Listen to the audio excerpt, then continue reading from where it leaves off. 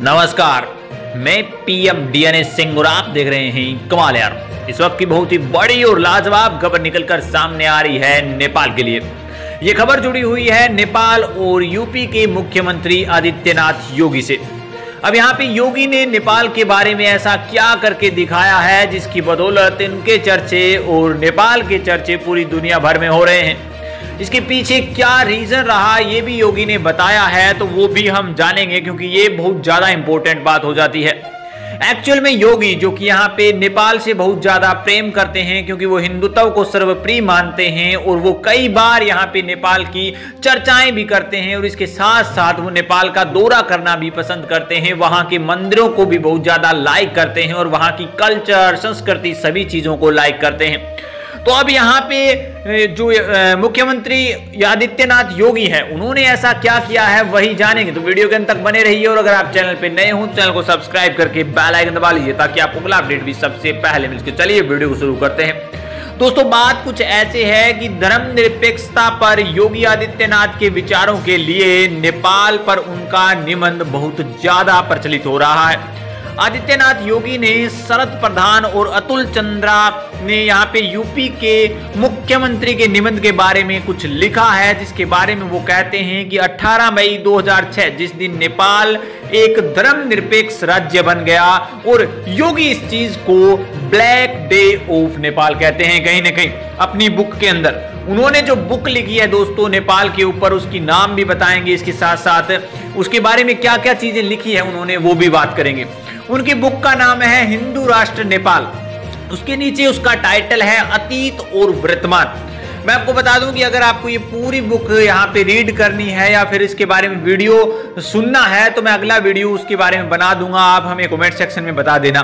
इसके यहाँ पे जो लेखक हैं वो योगी आदित्यनाथ हैं और संसद हैं, जो कि अभी यहाँ पे लोकसभा के और यहाँ पे अध्यक्ष विश्व हिंदू महासंघ भारत है, उसके द्वारा ये लिखी गई है। इसके साथ साथ अगर बात करें दोस्तों, इस किताब के अंदर क्या क्या है तो सबसे पहले पृष्ठ पर आपको देखने को मिलेगा पशुपति नाथ मंदिर, जो कि नेपाल का सबसे फ़ेमस मंदिर है। ना केवल नेपाल का सबसे फ़ेमस मंदिर है, जबकि ये पूरे वर्ल्ड वाइड फ़ेमस मंदिर है। इसकी मान्यता भी बहुत ज़्यादा है। इसके दूसरे पृष्ठ पर आपको देखने को मिलेगा महायोगी श्री गुरु गोरक्षनाथ जी की। जिनकी पूजा यहाँ पे हिंदुत्व में बहुत उच्च कोटि की होती है, इनको उच्च कोटि का यहाँ पे साध माना जाता है। इसके बारे में आप बखूबी जानते होंगे। इसके बाद इसी किताब के अगले प्रश्न पर खुलता है, बोध स्वयं भृतनाथ मंदिर। तो यहाँ पे ये जो चीज़ें हैं, वो भी नेपाल के अंदर काफ़ी ज़्यादा अद्भुत चीज़ है और हम कह सकते हैं कि अद्भुत टेंपल है एक, जिसके बारे में हम स्टडी कभी बाद में कर सकते हैं, अगर आप चाहें तो। लेकिन यहाँ पे जो चीज़ें हैं, वो क्या कहती हैं योगी आदित्यनाथ की जो बुक है, यहाँ से शुरू होती है। अब इस मंदिर की फ़ोटो के बाद विश्व का एकमात्र हिंदू राष्ट्र नेपाल, यद्यपि हमारा पड़ोसी मित्र है। यानी कि उनके कहने का मतलब है कि भारत का पड़ोसी मित्र है। और यहाँ पे राष्ट्र नहीं, सम्मान और साझा संस्कृति विरासत के कारण सहोदर भाई जैसा एकमात्र राष्ट्र है। यद्यपि वहाँ के इतिहास के बारे में ज़्यादातर लोगों को कई खास जानकारियाँ नहीं है, यानी कि योगी आदित्यनाथ बताना चाहते हैं कि मैं बिल्कुल इस जो हिंदू राष्ट्र है, उसे पूरे वर्ल्ड वाइड फ़ेमस करना चाहता हूँ। जिन लोगों की इसकी जानकारी नहीं है, वो मेरी किताब से पढ़े।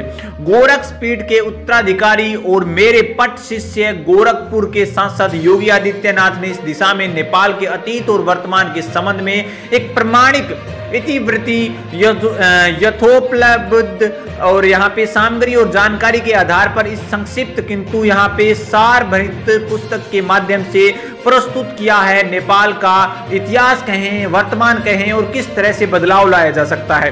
हिंदू राष्ट्र नेपाल के बारे में वर्तमान यहाँ पे दुर्गामी प्रभाव वाले राजनीतिक घटनाक्रमों और संकट के बारे में भी उन्होंने बात कही है।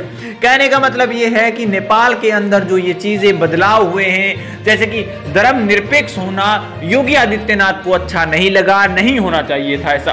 क्योंकि जो हिंदू राष्ट्र है, वो हिंदू राष्ट्र ही रहना चाहिए। योगी आदित्यनाथ ने इस इसके बारे में कई और भी एग्ज़ाम्पल सेट किए हैं कि जैसे यहाँ पे मुस्लिज्म है उन्होंने हिंदुज्म के अंदर जो मीनारे हैं उनका नाम बदलना शुरू किया। कई यहाँ पे गाँव के नाम भी बदले जो कि मुस्लिम ए, मुस्लिम कल्चर से बिलोंग करते हैं उनका नाम। तो हम स्पष्ट रूप से कह सकते हैं कि हिंदू राष्ट्र नेपाल वो चाहते हैं और उसका नाम भी ऐसा ही हो ये भी वो चाहते हैं। और इस बुक के अंदर आगे अगर बात करें दोस्तों तो यहाँ पे हिंदू राष्ट्र नेपाल का अतीत और जो वर्तमान है, उसका कल्चर आता है। उसके बाद किस तरह से नेपाल बना, इसके भी, इसका भी ज़िक्र आता है। उसके बाद ये भी ज़िक्र आता है कि किस तरह से यहाँ पे जो ग्रेट किंग पृथ्वी नारायण शाह हैं। उन्होंने यहाँ पे नेपाल को और ज़्यादा एक्सपेंड करा, यानी कि बढ़ाया, उसका भी ज़िक्र आता है। इसके साथ साथ यहाँ पे जब राजशाही के अंदर महाराजा धीराज महेंद्र विक्रम शाह थे, उनके बारे में उन्होंने ज़िक्र करा इस किताब के अंदर।